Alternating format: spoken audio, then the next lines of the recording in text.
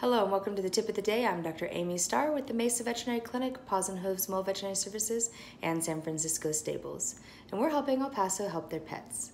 So today I want to talk about benign prostatic hypertrophy in dogs. And basically what this means is that the prostate has become enlarged um, in male dogs, however, is not cancerous. It is benign. This will happen in almost all older dogs that are intact, so that are not neutered.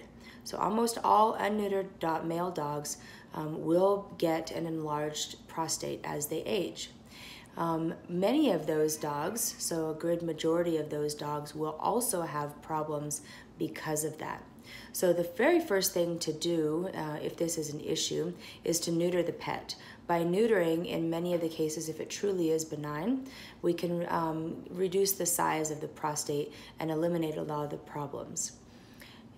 Problems that you might see with enlarged prostate are blood in the semen, blood in the urine, straining to urinate, straining to defecate, um, blood on the tip of the penis or the prepuce, and low fertility.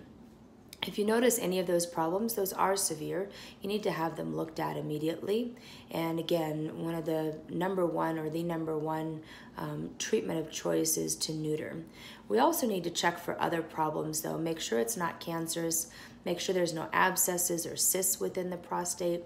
And so there's several different tests that need to be done.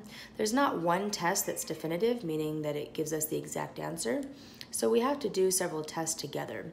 Obviously, first of all, we need a urinalysis and routine blood work to make sure that there's no infections or anything else going on. We don't have an infection in the urine, etc. The second thing is ultrasound of the prostate itself to look for abnormalities such as abscesses and cysts.